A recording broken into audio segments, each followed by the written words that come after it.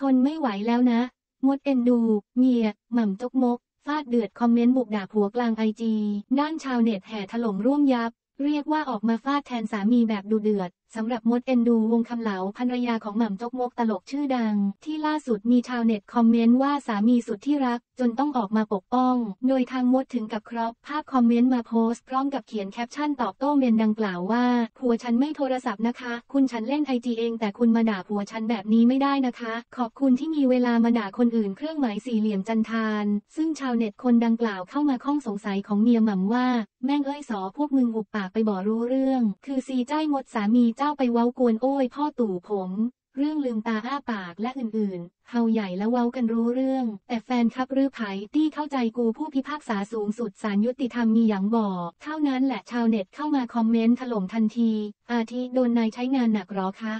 สมองถึงเลือดเลือนแล้วมาระบายลงโซเชียล ตอนแรกนึกว่าเรื่องอะไรกันพอมาดูเมนนี้ออก คนป่วย ไม่มีใครกรวดน้ำทำบุญไปให้เขาค่ะ เขาเลยออกอารวาสสัมภเวสีไร้ที่อยู่